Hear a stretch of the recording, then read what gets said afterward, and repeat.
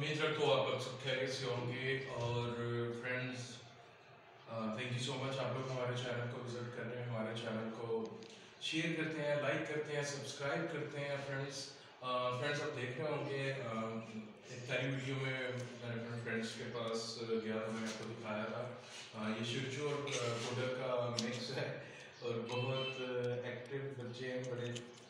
تو friends actually مجھے آپ لوگوں سے، میرے کافی سبسکرائبرس ہیں جن لوگوں جن لوگوں کی ریکویسٹ تھی کہ وہ بتائیں کہ پنجاب کے اندر ہم لوگ ہسکی رکھ سکتے ہیں یا ہسکی نہیں رکھ سکتے۔ تو فرینڈس بالکل، آپ پنجاب کے اندر ہسکی رکھ سکتے ہیں۔ میرے بہت سے فرینڈس ہیں جن لوگوں نے ہسکی رکھے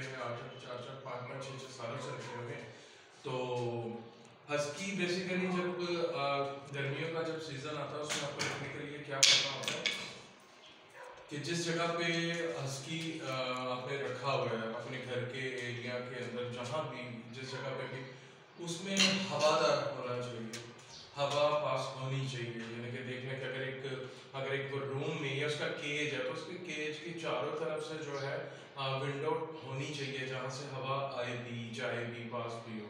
اور ایک تو یہ طریقہ کار ہوتا ہے، دوسرا آپ اس کو گرمیوں میں چھت کے اوپر بالکل ڈائریکٹ سورج کے اپوزٹ نہیں رکھ سکتے۔ آپ نے سورج کے اپوزٹ نہیں رکھنا، آپ نے اس کو چھاؤں میں رکھنا ہے، ٹھیک ہے؟ سین میں رکھ سکتے ہیں یا کسی درخت کے نیچے رکھ سکتے ہیں۔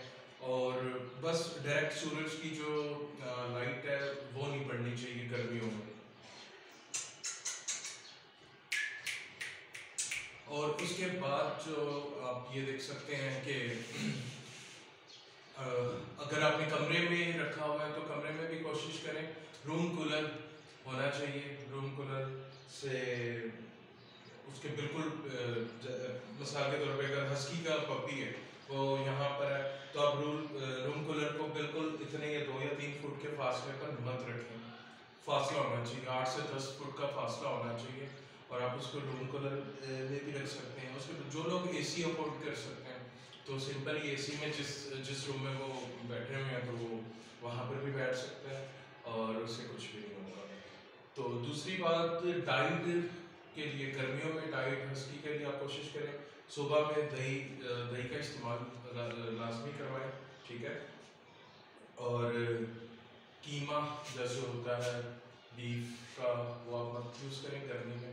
اور اس کے بعد دوسرا آپ کوشش کریں زیادہ سے زیادہ سبزیاں دیں اور یہ چیز اپنے مائنڈ میں مت رکھیں کہ گرمی گرمی کے پنجاب ایریا میں ہسکی رکھنا مشکل ہے ہسکی رکھنا مشکل نہیں بلکہ ہسکی بالکل سروائو کرتا ہے رہتا ہے کوئی ایشو نہیں ہے اڈلٹ ہوگا اڈلٹ کے لیے بھی آپ کو جن چیزوں جو چیزیں میں نے اسٹارٹ میں آپ کو بتائی ہیں آپ کو اس اس طریقے سے چلیں تو کچھ بھی نہیں ہوگا ہوادار ہونا چاہیے بس اور آپ اس کو یہ نہیں کہ آپ اس کو چھت کے اوپر آپ گرمیوں میں چھت کے اوپر باندھ دیں اور ڈائریکٹ دھوپ پڑ رہی ہے، تو سمپلی سی بات ہے، وہ تو کوئی بھی ہو، انسان بھی ہو تو بیمار تو پڑے گا۔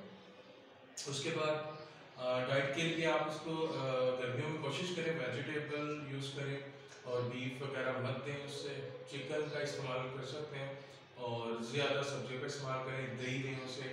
پانی کا خیال رکھیں کہ پانی دن میں تین سے چار بار ہسکی کو پانی ملنا چاہیے، دوسرے جانوروں کو بھی ملنا چاہیے، اور لیکن ہسکی کو پانی کا خیال آپ زیادہ رکھیں، اور اس کے بعد آپ یہ دیکھ سکتے ہیں آپ فروٹ میں انہیں سیب بھی دے سکتے ہیں، سیب کے بیج نہیں دینے، صرف سیب آپ انہیں دے سکتے ہیں، اچھے شوق سے کھاتے ہیں وہ لوگ، اور دوسرا، لسی کا پتلی کچی لسی کا استعمال آپ کر سکتے ہیں گرمیوں میں اور اگر اڈلٹ ہے یا آپ کسی ایسے ایریا میں رہتے ہیں جو بہت زیادہ ہی آپ لگتا ہے کہ ٹیمپریچر بہت زیادہ ہوتا ہے، بہت زیادہ گرمی ہے، تو اگر آپ کے پاس گلی کوڈ ہے، بڑے پاگوں والا ہے، جیسے مثال کے طور پہ یہ پوڈر ہے، ٹھیک ہے نا کہ پوڈر جیسے ایسے بڑا، جیسے ایسے بڑا ہو گئی ہے تو اس کے پال بھی بڑے ہوتے جائیں گے۔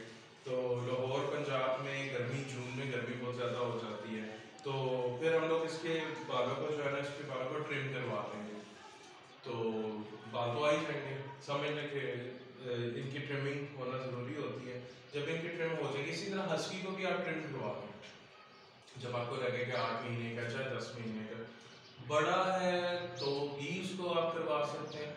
ٹھیک ہے، اس کو آپ بال، اس کے چھوٹے چھوٹے بال کروا دیں اور سردیوں تک اس کے جو بال ہیں، وہ اپنی جگہ پر آ جائیں گے۔